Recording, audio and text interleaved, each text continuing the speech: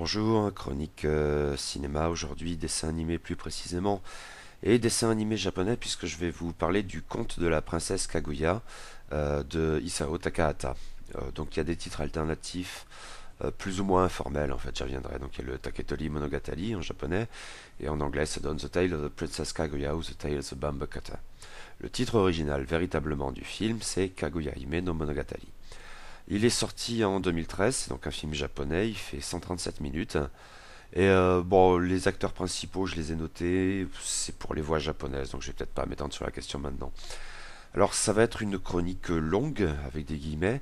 Ça va être aussi une chronique qui contient des spoilers, si on peut employer ce terme, mais j'en doute. Euh, mais bon, voilà, donc si, si, euh, si vous voulez vous méfier un petit peu de ce que je pourrais révéler sur l'histoire du conte et du film, puisque je vais traiter des deux, voilà, vous pouvez peut-être vous arrêter ici. Ultime réalisation à ce jour de l'immense Takahata Isao, le conte de la princesse Kaguya est un projet pharaonique, l'adaptation en dessin animé d'un des plus fameux contes japonais, également connu, davantage en fait, sous le titre surprenant à vrai dire de Conte du coupeur de bambou, Taketori Monogatari. Le dit conte a éventuellement des sources orales très anciennes, mais sa version japonaise canonique a été fixée par écrit aux environs de l'an 1000, l'apogée de l'époque de Heian, quand la domination politique des Fujiwara, au fait de leur pouvoir, s'accompagne d'une intense vie artistique et culturelle, dont le sommet est le dit du Genji de Murasaki Shikibu. Alors j'ai vu ça et là des articles attribuer le conte qui nous intéresse à cette dame, je ne suis pas certain que ça se fonde sur grand chose. Mais on pourrait également citer les notes de chevet de Seisho Nagon, etc. Le mot conte en français a acquis, relativement tardivement en fait, des connotations pénibles. C'est pour les enfants. Sans doute les enfants japonais connaissent-ils très tôt l'histoire de la princesse Kaguya, comme d'autres tout aussi anciennes et parfois proches, Isunboshi, Momotaro, etc. Mais le texte écrit il y a mille ans de cela ne leur était de toute évidence pas destiné, et ne l'est toujours pas, s'il a connu de nombreuses adaptations écrites plus abordables. Le conte du coupeur de bambou faisait les délices de la cour impériale, et d'autant plus qu'il s'agissait d'une œuvre profondément satirique, qui raillait les grands de ce monde. Seul l'empereur y échappait, forcément. En outre, le merveilleux ici empruntait à diverses traditions culturelles, notamment bouddhiques et taoïstes, qui ne disent peut-être pas grand-chose aux enfants. Le Taketori Monogatari est aussi et peut-être avant tout l'histoire d'une inconcevable rébellion. La princesse Kaguya ne se comporte pas comme devrait se comporter une jeune femme, son attitude est des plus choquantes. Là encore, on peut supposer que ce n'était pas spécialement la lecture jugée la plus appropriée pour des enfants par les austères moralistes d'un Japon prisant la, piété filiale par-dessus tout. Le néo-confucianisme de l'époque d'Edo entre l'époque de la rédaction du conte et la nôtre ne s'accommodait pas très bien, je suppose, des ruses de la princesse Kaguya. Notez enfin que le film de Takahata finalement ne met pas vraiment l'accent sur le merveilleux. Alors il est certes toujours présent, comme un arrière-plan nécessaire de l'histoire, mais ce n'est pas ce qui l'intéresse véritablement dans ce récit, cela serait plutôt du domaine de son compère Miyazaki Hayao. Il a pu dire que la traduction française du titre, Conte donc, ne le satisfaisait pas vraiment, il aurait préféré Histoire, ce qui est parfaitement envisageable. Le mot monogatari, très fréquent dans les titres de la littérature japonaise classique, évoque littéralement la chose racontée, disons, on traduit parfois par di, quand bien même des œuvres telles que le di de Heichu, Heichu Monogatari, le di du Genji, Genji Monogatari, et le di des Heike, Heike Monogatari, n'ont absolument rien à voir. Respectivement, ce sont un Uta Monogatari, soit un recueil poétique avec un peu de prose pour faire un mince liant, un roman fleuve brillant par sa finesse psychologique, et une chronique historique épique. Les contes de pluie et de lune, Ugetsu Monogatari, d'Ueda Akinali, sont certes des histoires fantastiques, les histoires qui sont maintenant du passé, comme Jaku Monogatari aussi, même si dans une autre perspective, mais pas le moins du monde, les contes d'Issei, Issei Monogatari, etc.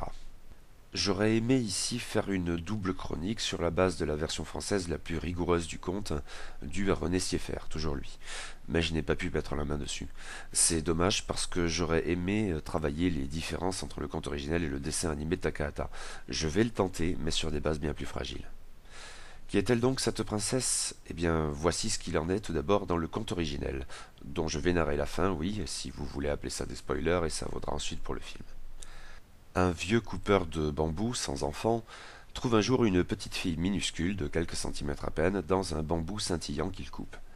Émerveillé, il ramène l'enfant miracle chez lui, un thème commun à d'autres contes japonais dont ceux cités plus haut, et avec son épouse, il l'élève comme leur propre fille, tandis qu'elle grandit à une vitesse improbable, jusqu'à devenir bientôt une très belle jeune fille, une vraie princesse radieuse, Kaguya Hime. Parallèlement, le pauvre coupeur de bambou a fait fortune, car d'autres bambous abritaient des pépites d'or, et les deux événements sont liés à n'en pas douter.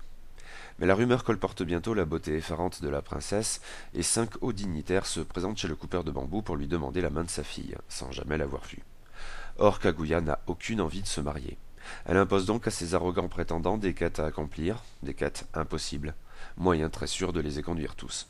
C'est ici tout particulièrement que le conte se montre satirique et use en même temps des folklores bouddhiques, taoïstes, etc. Et si l'empereur est davantage préservé de sa malice, la princesse Kaguya n'en refuse pas moins de l'épouser lui aussi, quel impensable outrage. Ils correspondent cependant, comme font dames et galants en ce temps, en échangeant des poèmes. Mais la vérité sur le cas de la princesse apparaît enfin. Certes, elle n'est pas de ce monde, elle vient de la Lune et a été envoyée sur Terre par punition. Sa peine ayant été exécutée, elle doit retourner sur son monde natal. Décidément rebelle, ne serait-ce pas la raison de sa punition qui n'est pas autrement précisée, elle n'a aucune envie de s'exécuter, mais sait qu'elle n'aura pas le choix. Les meilleurs soldats de l'empereur ne sauraient lui permettre d'échapper aux êtres lunaires qui viennent la ramener chez elle. Elle a cependant le temps d'adresser une lettre à l'empereur, accompagnée de l'élixir de vie éternelle. Mais Kaguya parti, l'empereur, comme le coupeur de bambou et son épouse affligée, n'a aucune envie de vivre éternellement. Le rapport à la mort est un autre thème important du conte. Il, charge ses soldats de jeter l'élixir dans le plus grand volcan du Japon, celui que nous connaissons depuis sous le nom de Mont Fuji, symbole d'éternité. L'adaptation par Takahata Isao est fidèle dans les grandes lignes, mais présente pourtant des divergences marquées qui changent en fait pas mal la donne, du moins je le suppose en l'absence de texte de référence. Déjà le film, au rythme assez lent de manière générale, s'attarde sur l'enfance de Kaguya Hime, dans un cadre rural idyllique où la nature est resplendissante et où les gens sont simples et bons. Elle joue avec les autres enfants, qu'il appelle pousses de bambou, et tombe amoureuse du hardi Sutemaru ce qui autorise un contraste. Dans le film, le coupeur de bambou prend sa princesse très au sérieux et décide d'abandonner son métier et la campagne pour bâtir, avec sa fortune récemment acquise dans les bambous scintillants, une magnifique demeure à la capitale, où il charge l'austère et rigide dame Sagami de former Kaguya pour en faire une authentique princesse. Le personnage du coupeur de bambou a donc quelque chose d'un parvenu un peu ridicule ici, tandis que son épouse incarne une paisible sagesse paysanne de tous les instants même s'il reste sympathique en définitive. Mais ainsi la rébellion de Kaguya peut s'afficher bien avant que les cinq prétendants n'entrent en scène. En fait, ce passage crucial du conte originel est relativement expédié ici. De même pour la relation avec l'empereur, mais avec une différence colossale. Chez Takahata, l'empereur n'est certes pas épargné par la satire, c'est un horrible personnage. Peut-être cependant comprend-il quelque chose après avoir été rejeté? Mais à toutes ces étapes, il y a des changements de ton marqués. L'humour du conte originel laisse régulièrement la place à la tristesse et la douleur. D'abord quand Kaguya, haïssant les rigidités de la capitale et les bêtises humiliantes de l'étiquette, rêve de retourner dans sa campagne auprès de ses amis et notamment Sotemaru. Ensuite quand elle comprend sa véritable nature et craint le retour sur la lune, en sachant très bien que rien ne pourra s'y opposer.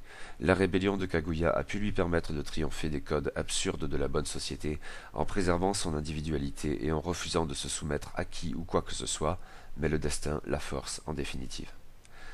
Le peuple sélénite cependant acquiert ici des traits indéniablement bouddhiques qui m'ont surpris. L'imagerie emprunte clairement au motif Hayaraigo de la descente rapide d'Amida et de ses bodhisattvas, venant chercher l'âme de ceux qui ont cru en lui pour les ramener dans son paradis de la terre pure de l'Ouest. Euh, pas vraiment la lune a priori. Bon, j'en avais donné un exemple illustré en chroniquant l'art japonais de John Stanley Baker, ça me paraît éloquent. Mais je ne sais pas du tout ce qu'il faut en penser ici, euh, ni même si l'on même si l'on peut sans doute faire le lien avec le thème de la mort, certes sensible dans le conte originel. Bon, je ne sais pas, n'hésitez pas à m'éclairer si jamais. Enfin, le rôle de l'empereur étant bien moindre et bien autrement connoté dans le film de Takahata que dans le conte originel, l'épilogue avec l'élixir le Mont Fuji est totalement absent du dessin animé. Le conte originel est, à ce qu'il semblerait, un texte avant tout rusé, drôle et irrévérencieux. Le ton est assez différent dans le film, qui se montre peut-être moins subtil dans ses critiques, ou plutôt est-ce qu'il préfère mettre en avant d'autres dimensions. Le contraste entre la campagne belle et pure, d'une part, et la capitale toute d'artifice, avec ses absurdités protocolaires, est sans doute un peu trop naïf, tout en étant lié aux préoccupations écologistes de Takahata, euh, particulièrement sensible dans l'excellent Pompoko. Mais le réquisitoire contre l'étiquette est plus virulent que dans le conte, d'une certaine manière. Maintenant, il ne faut pas non plus exagérer. Hein. Si le conte comme le film dénonce la mesquinerie des puissants en les opposant aux paysans, enfin surtout chez Takahata, je ne suis pas bien certain que cette contrepartie soit sensible dans le récit originel. Il serait sans doute bien abusif de parler de marxisme dans tout ça. Rigolez pas trop vite, j'ai croisé cette affirmation sur le web. Même libertaire n'est pas beaucoup plus à propos, mais j'y reviendrai. Dans le film, la rébellion de Kaguya demeure jubilatoire. Voyez là se blanchir les dents, vision d'horreur pour Dame Sagami. Mais la ruse dont elle fait preuve en manœuvrant ses prétendants est moins accentuée, tandis que sa douleur est plus sensible, notamment avec ses rêves impossibles de retour à la campagne et une saine pauvreté. La fuite sous la lune est probablement le plus beau moment du film à cet égard. J'ai été bien moins convaincu par les retrouvailles oniriques avec Sutemaru, un peu Superman et Lois Lane, même s'il est un point très intéressant dans ce passage, que Sutemaru est femme et enfant, en contraste encore avec la princesse Kaguya qui ne veut pas devenir épouse et donc mère. Peut-on vraiment dire que le conte original mettait en avant le thème de la condition des femmes?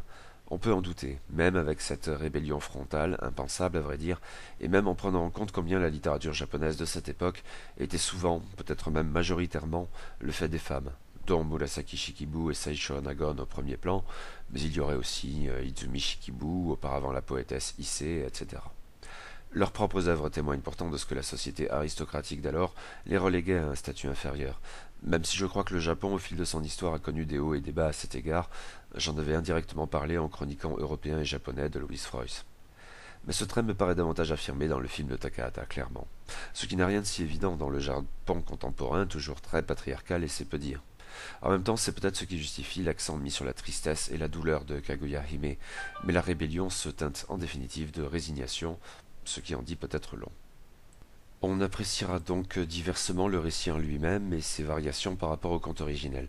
Pour ma part, j'ai apprécié le dessin animé à cet égard, mais je préfère ne pas trop m'avancer sur ce terrain tant que je n'aurai pas lu le conte dans sa version la plus fidèle et adulte. Là où le film emporte sans mal l'adhésion, c'est au plan du graphisme et plus généralement de la réalisation. Le studio Ghibli n'a certes plus rien à prouver en la matière. Takahata Isao comme le compère star Miyazaki Hayao ont toujours livré un travail admirable.